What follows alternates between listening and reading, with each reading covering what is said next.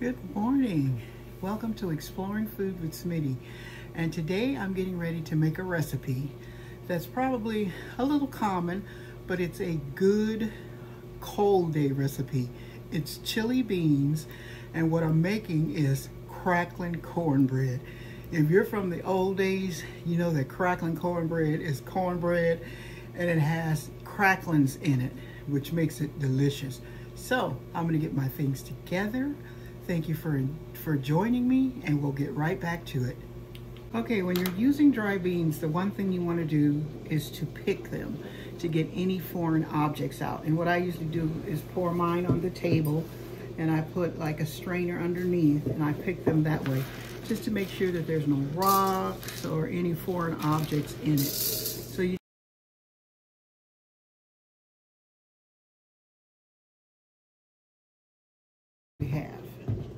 Left after I took out that one little rock. So sometimes there's a lot of rocks and sometimes there's a little. Okay, so after you get your finish getting your beans picked, what you want to do is come over to your sink and you want to clean them with water just to make sure that you have all the dirt off of them and that they're good and clean.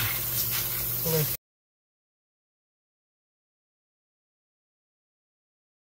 So after you get your beans all washed, what you want to do with them next is to pour them into your pot, like so. They're all nice and clean. And then what I'm adding to my beans is vegetables because I'm making chili beans. And what I'm going to do is save some of these to cook with the meat because I want my meat to have flavor also. And then after that, I'm going to add in a little bit of my favorite red chili flakes. And then I'm going to put in my water. Now, one thing about making your chili beans like this, you put them on the stove and you let them do your, their thing. You don't have to worry about it or anything. If I were cooking regular pot beans, I would probably put meat in it. But since it's chili beans, I'm just going to put the beans in and let them cook.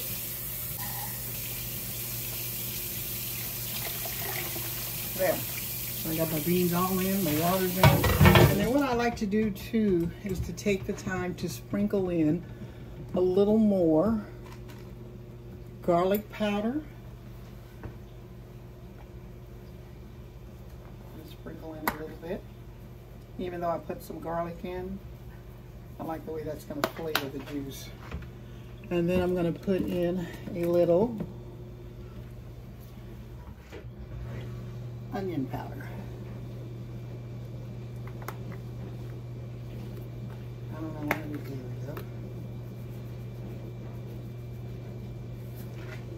go.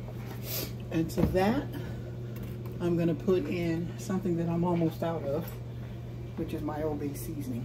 And what do I say? Is I put that stuff on everything. So we're gonna put in a little bit of Old Bay seasoning.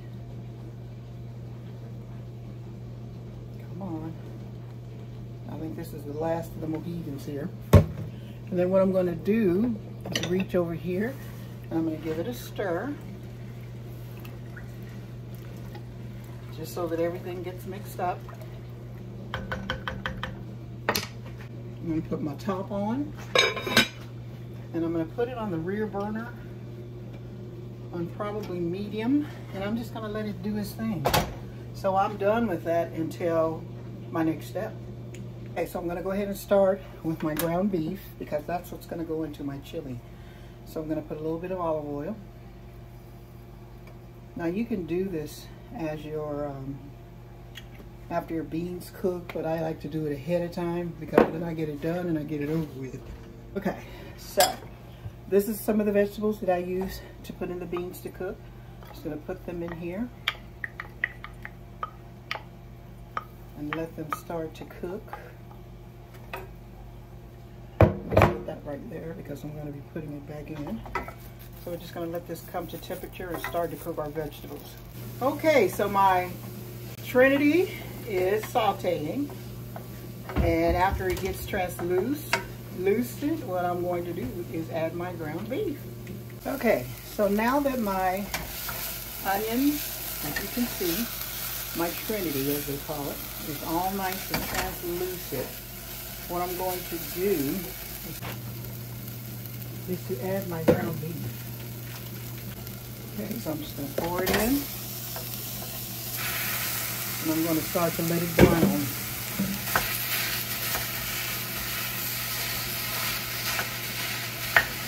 Like so. And to that I'm going to add some, because we want our meat to have flavor. To add some garlic. Put a little bit of that in there, because we want it to have the flavor. And I'm going to add some onion.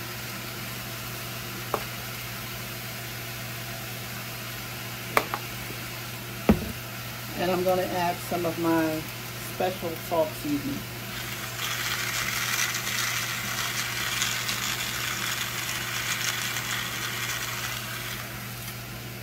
So aside and let's get this going.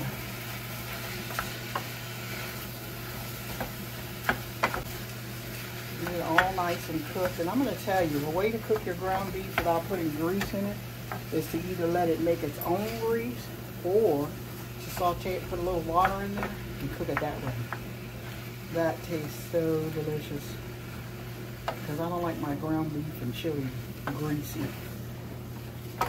So, I'm just going to get this all cooked up and then we'll be back and see what we do next. Okay, so as you can see, my ground beef is starting to brown. Let's move this over here. And it's a nice, good color.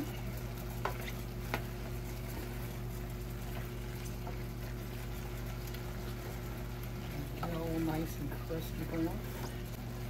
Okay, so I'm going to add a little bit of tomato paste because we want to get as much flavor out of here as we can. So then when it joins the beans, when they're cooked, the flavors will come together and it'll be really delicious.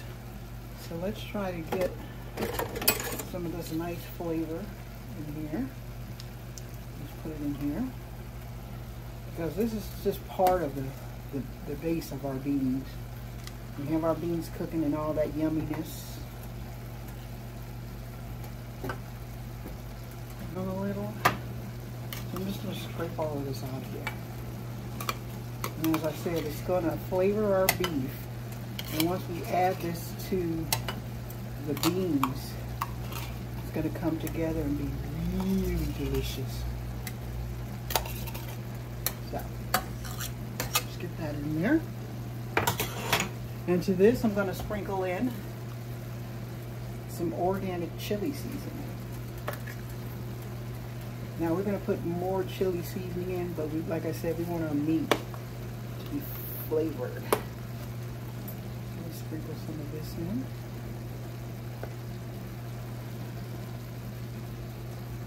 There we go. and let all this come together until it kind of makes a juice.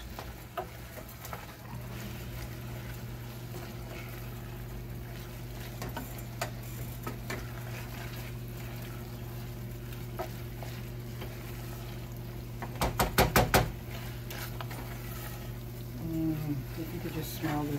This smells so delicious. It all incorporated.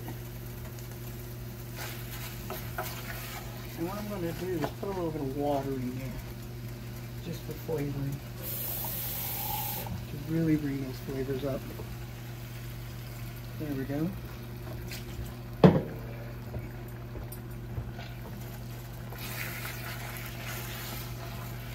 Mm.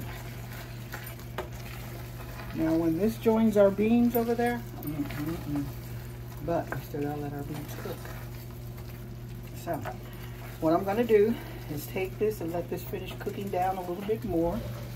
And then I'm going to add it to this, my thing right here, my little Tupperware thing or whatever you call it.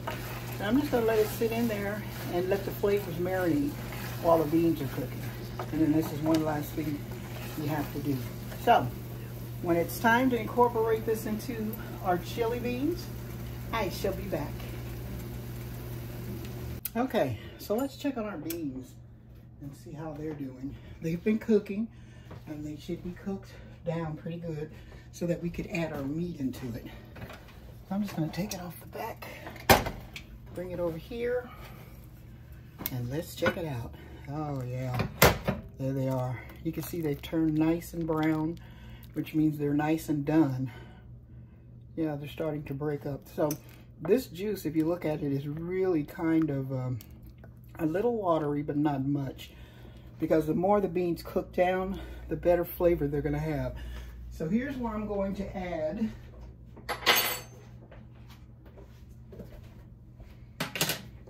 Remember the ground beef we made earlier? I'm gonna add that in here right now. Which has chili in it. There, so I'm gonna put this on here. Give us a stir. Like so. And then I'm gonna put them back on a low flame just so all of that juice and stuff can be incorporated into the, the yummy beans. So let me put this here. Let's put this back because these handles do get hot. Now, as an added thing that I usually do to my beans is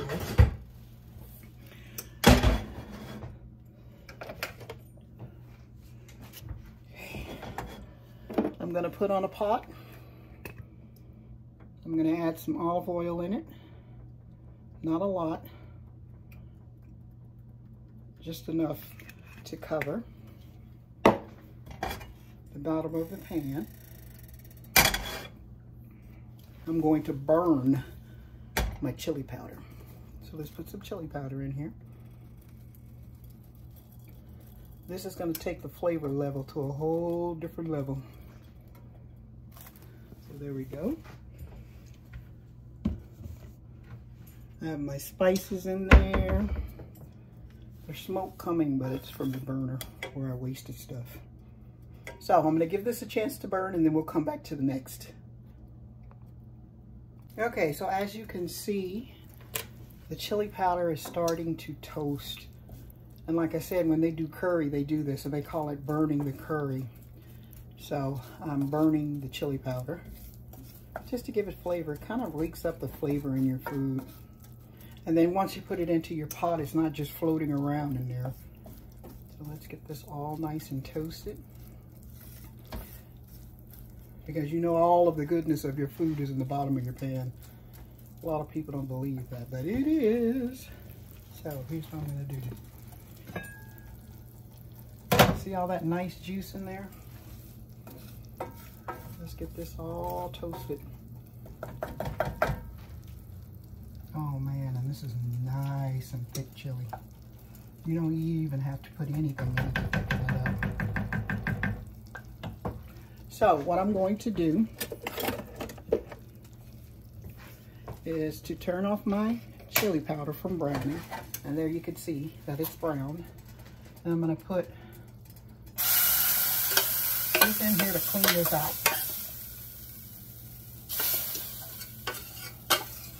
Mmm. If you could just smell this.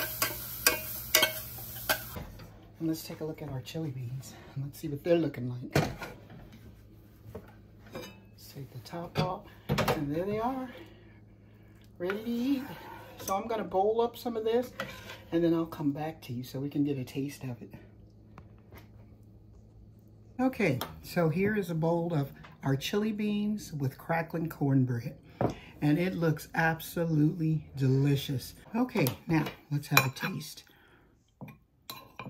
The beans are very, very hot. And one thing about chili beans is you can freeze them. So next time someone says, I want to eat, but I don't want blah, blah, blah.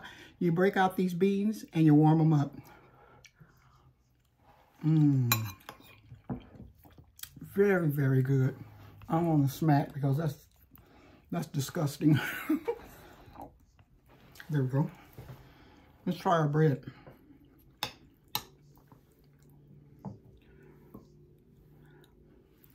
This is our bread. It's nice, light, and fluffy.